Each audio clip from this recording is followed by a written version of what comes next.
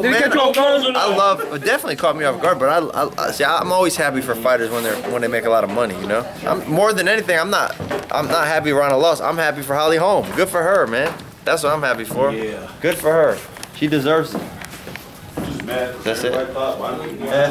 What, what is Gerald saying? He's talking shit. What are you saying, Gerald? He's mad? He's talking. Everybody was saying Ronda Rousey could beat him up. and he was like, man. So as soon as she got knocked out, you know, he was the first one to call.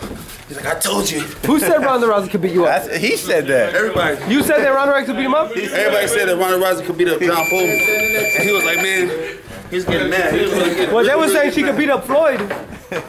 But, but, Yeah, Floyd is on. like a professional. Come on, like you can't- champion. you can't- But like John is like, you might believe that. Well, Dana That's what he White, was getting upset about. Dana White told me that Ronda once beat up two large men, which doesn't make sense because if you beat up one on the ground, the other one's hitting you when you're not looking. I always say it like this. Right? The last thing I'll say about that is men and women don't fight for a reason.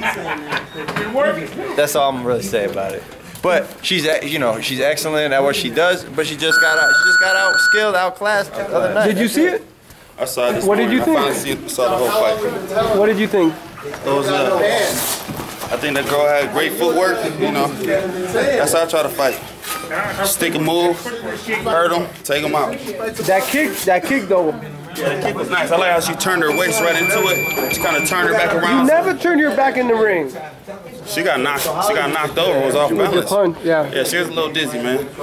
But hey, that's It's hard in there, man. It's, it's, it's, it's a tough it's a tough hustle in the, in the, in the ring, man. But um, Is it crazy about the fans going from loving her and putting her in yeah, I don't like that. I don't, I don't like how they how they just turned their back on her, like how they were celebrating her loss more than giving Holly Holmes her, her credit, man. I noticed give that. her her love. You know what I'm saying? She she boxed great, and that's and that's why she won. Don't be sh- shitting on Ronda Rousey because she lost. Like I fucking love her. I, I love Ronda Rousey. She, she's a beast. You know what I'm saying? She's still a beast. It's just, just got caught. All right, there you have it. We'll see if that changes her career. Gerald Washington, right here for EasternReport.com. Melissa back reporting.